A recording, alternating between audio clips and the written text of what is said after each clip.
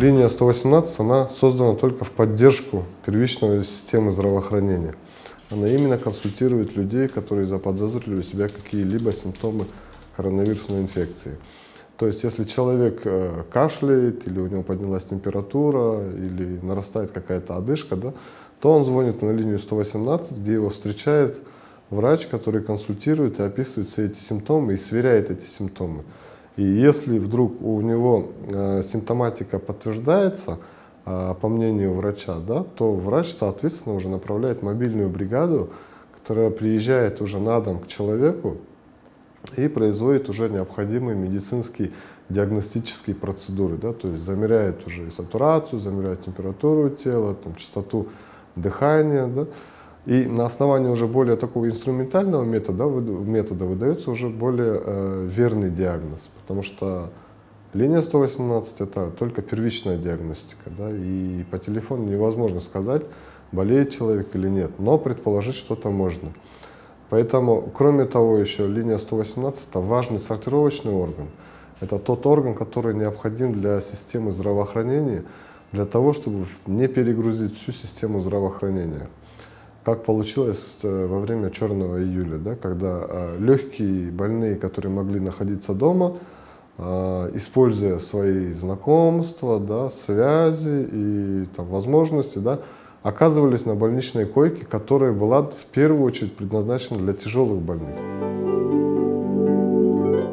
Мы специально обучали наших врачей и наших операторов именно вот этой системе сортировки раненых, так называемых. Это триаж-система, которая была придумана не нами, она еще использовалась во времена наполеоновских войн, да? но эта система применялась обычно а, в условиях боя. Но так как мы находимся сейчас максимально а, приближены к таким условиям, да, да, то мы адаптировали эту триаж-систему и применили ее, применяем ее сейчас здесь для сортировки именно от больных. Главная цель это, чтобы легкие больные средней формы больные, да, чтобы они оставались дома, потому что лечение здесь э, коронавирусной инфекции только симптоматическое, не существует никакого специфического лечения, и если кто-то говорит, э, что присутствует какое-то прям четкое лечение, да, то это все неправда, потому что мы еще до сих пор не придумали лекарство против банального гриппа, да, ну о чем говорить, если это коронавирусная инфекция, которая появилась совсем недавно.